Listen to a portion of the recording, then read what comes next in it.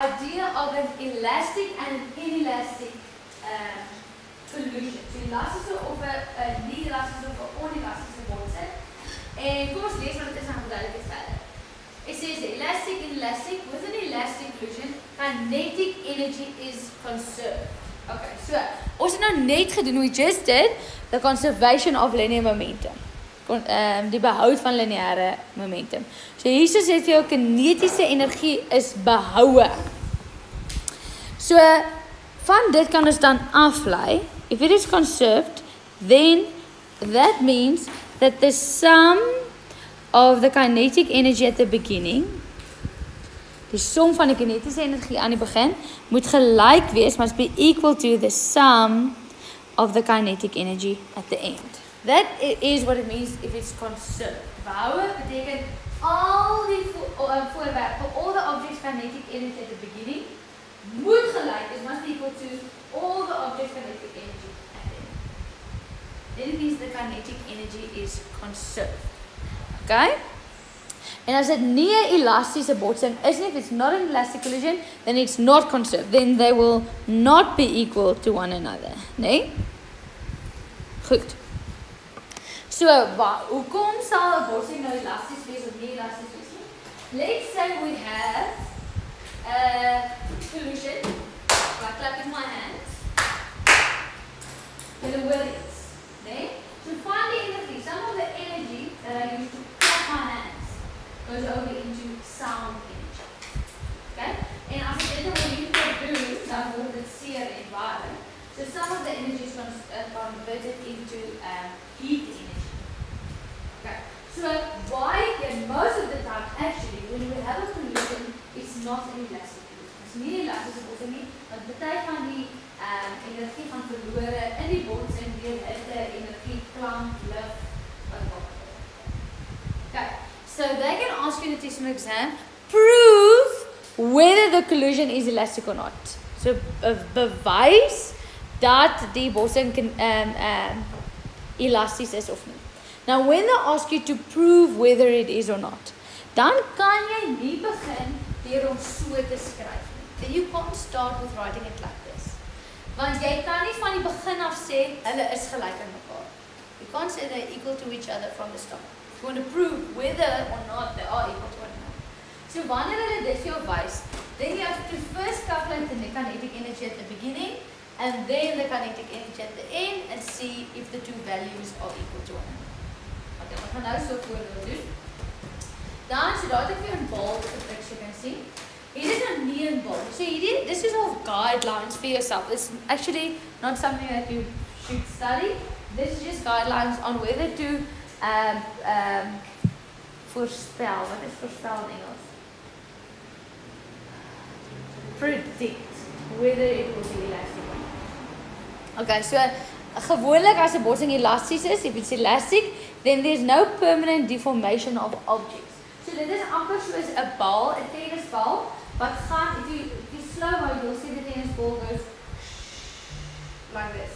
this is as die bal swoosh 'n bietjie na ander toe. So no permanent deformation.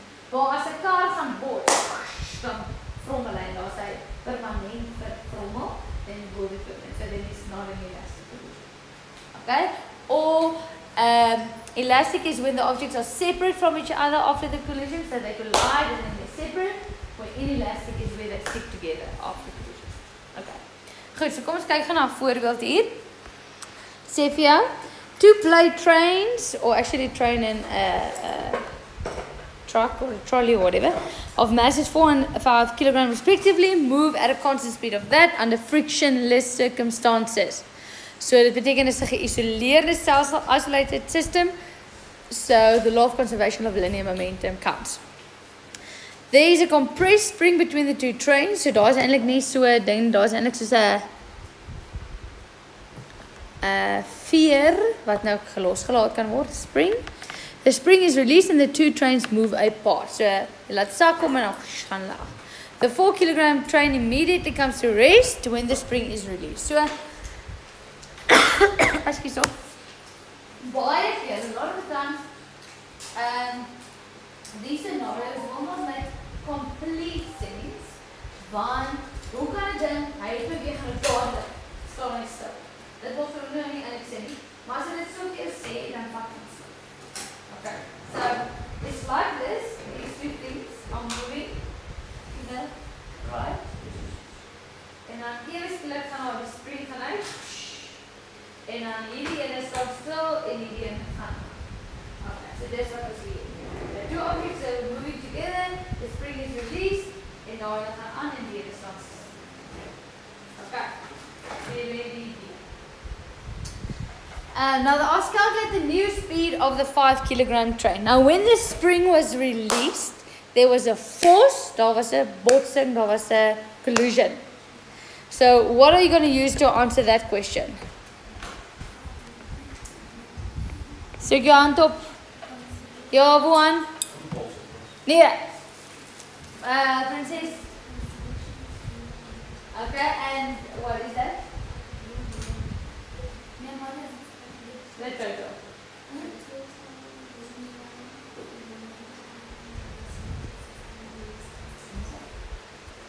Okay. Goed, so ons gaan die wet van behoud van lineêre momentum gebruik. Hoekom? Hoe weet ek ek moet dit gebruik want ons 'n botsing gewees. Wat sê die totale lineêre momentum in 'n geïsoleerde stelsel bly konstant. Okay, so the sum of the momentum at the beginning is equal to the sum of the momentum at the end. Daar is nie 'n e nie. Onthou, this is not a e. E means energy. It's not a e. It's a sigma sign. Okay. Wat beteken so aan die begin at the beginning the two trains were connected to one another. So hulle was een ding gewees. So dit is um, die massa van 5 plus 4 with the velocity of them both at the beginning. Want hulle was vas aan mekaar. And then at the end they were separate. So we have the mass of the 5 times the velocity plus the mass of the 4 times the velocity. Final. Okay. So if I substitute my values, this is 5 plus 4. And at the beginning, they were moving at 2 meters per second. 2 meter per seconde. So ek sit 'n 2 in. What did I forget to do? Direction. Okay? Hulle beweeg albei regs, so ek kies regs as positief. Is gelyk aan the 5 has the mass of 5 and the 5's velocity is the question. What is the new speed? So ek weet nie wat dit is so it's final. And then they told me this thing, the 4 kilogram, immediately comes to a rest. So what is the velocity? Zero, so plus zero.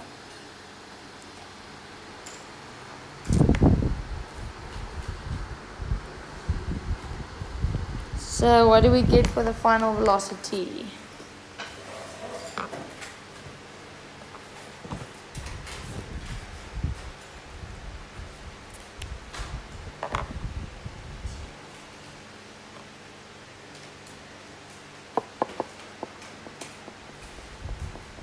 Drie komma meter per seconde and because we get a positive answer and because we chose to the right to be positive this will be to the right. Okay. Nou hierdie vraag ek wat ek wou nog sê This question will actually start with a theory question and the theory question will be something like um is this an isolated system or not? Explain. Is hierdie 'n geïsoleerde stelsel of nie? Verduidelik jou antwoord. En dan sou jy sê ja, dit is. Yes, it is. Why? Because it is a frictionless surface. Okay, so dan is dit 'n wrywing, ag 'n geïsoleerde stelsel. Want if it was not an isolated system, then you're not allowed to use this um formula. So as of wrywing is if there's friction, then you cannot use this. Okay. Dan vraag B vra hulle vir jou. Um show whether the collision is elastic or not. So bewys is hierdie botsing nou elasties of nie. So you have to go get the sum of the kinetic energy at the beginning and the sum of the kinetic energy at the end. Benjamin, fokus jy. Jy jok. Okay. So, ek gaan nou eers kyk na die som van die kinetiese energie aan die begin. The sum of the kinetic energy at the beginning. Ja.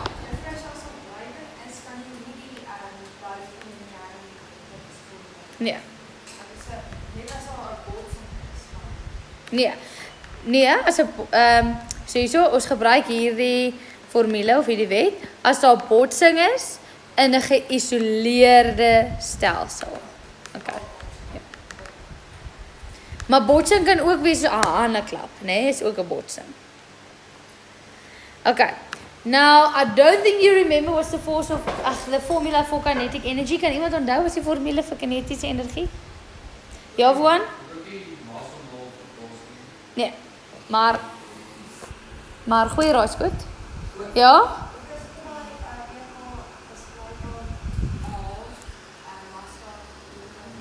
Yes, mooi. So this formula is on your data sheet, the formula for kinetic energy. It's a half mv squared.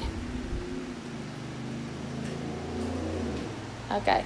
Now, aan die begin at the beginning, the two trains were connected to one another. Hulle was aan mekaar. So dit gaan dan wees van die 5 plus die 4 kg. And that's at the beginning. Okay? So as ek dit gaan uitwerk, dis 'n half. The mass is will now be the mass of the 5 and the 4 together. En hulle snelheid was gewees wat 2 squared. 2 kwadraat is 4. 4 maal 9 is 36, né? Nee? Ja. Maal 'n half is 18. And what's the unit for energy? Joules. Joules, joules, joules. Okay. So that is the energy before the collision. Kom ons kyk nou na die tyd. So the sum of the kinetic energy at the end. Nou op die einde was hulle apart. At the end they were separate. So dan gaan ek twee formules sê. A half mv squared of the 5 at the end plus a half mv squared at of the 4 at the end. So na die botsing after the collision they were separate so I have two formulas. Okay, so ons het 'n half the 5 the mass is 5 and we just calculated the velocity of the 5 to be 3.6. So 3.6 kwadraat. And what was the velocity of the 4 at the end? 0, so it's plus 0. Idag kan jag leva kort i mig.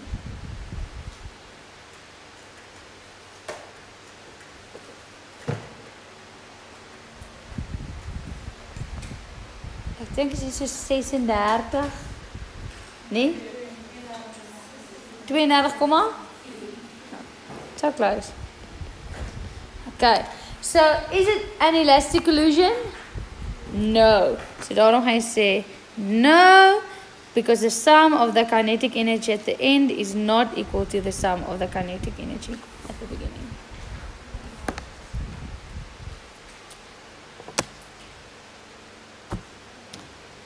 What's wrong?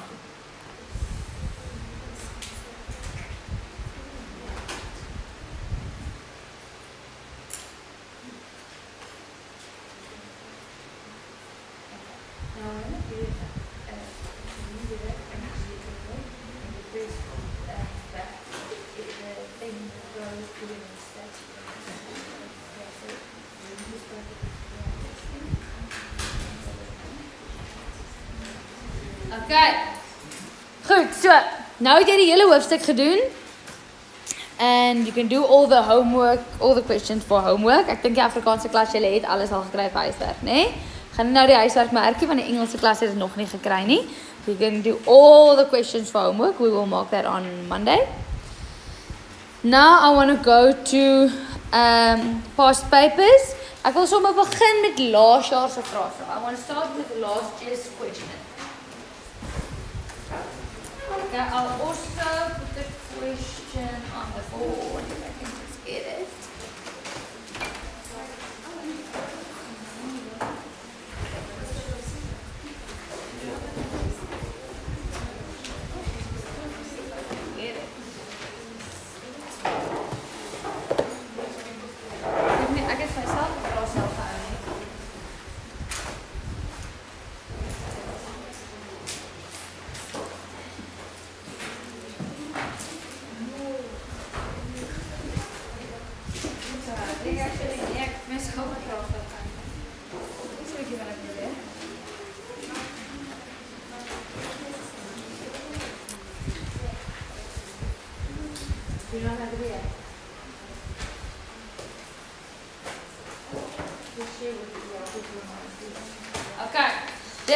Nou wees, we're going to look at question 4.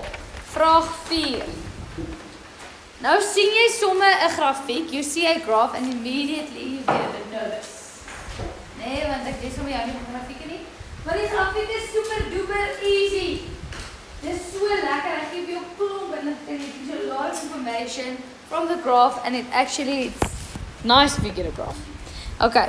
Hulle begin daar so this is question 4 of paper 2 of 2022.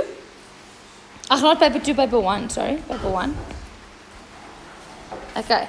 They tell you the trolley X with a mass of that travels at so much east and collides with trolley Y of a mass of that which is initially at rest. Okay, so ek gaan begin om my prentjie te teken. Ek het 'n karretjie. Sy en hy's X. Sy massa is 1.2 kg en sy snelheid is 8 en hy beweeg oos.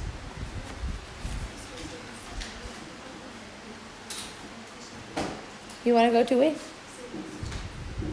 Where? Um, yeah, yeah, yeah. Okay, so it travels east. So I'm just going to make an arrow to the right, and it is going to crash with. So I bought Smith Kariki Y that has a mass of 0.5 and the velocity is 0 because it's initially at rest. Kan jy sien ek teken 'n prentjie? Kan jy sien dit maak die lewe makliker? You can actually see what's going on. Teken jou prentjie.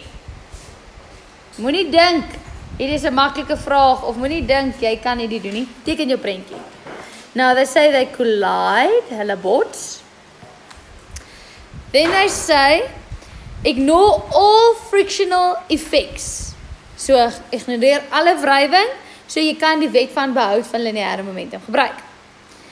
The velocity time graph below shows the velocity of trolley X, so it is net die inligting vir X. Just the information for X before, during and after the collision with Y. Okay, so ek weet nog nie na die tyd wat is hulle een ding is hulle twee goeters wat gaan aan nie. Okay, their masses will remain the same. Because they won't lose mass. Okay, en dan kom ons kyk gou vinnig na die grafiek. If we look at the graph, the graph goes like this. This is velocity, this is time. This is 8. That is 4. This time is 20. This time is 20.1 and that time is 20.2. Okay, and all this information is just for trolley X, so it of karretjie X. So dit is net vir X. Dis nie vir X en Y nie. Okay.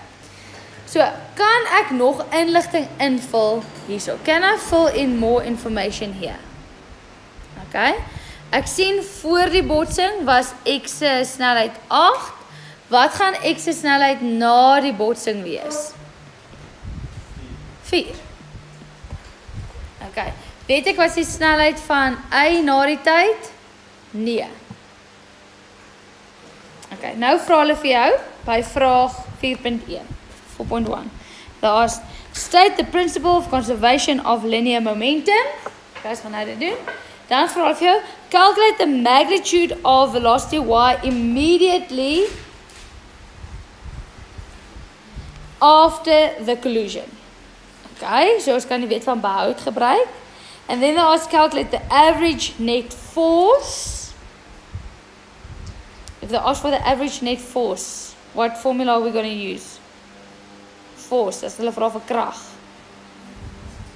impulse formula, né? Impulse formula because that has force in. And then I ask, is this collision elastic or not? Okay, dan gaan jy daai kinetiese formule gebruik, né? Okay? So I want you to do that quickly on your own now. I'm going to give you 10 minutes.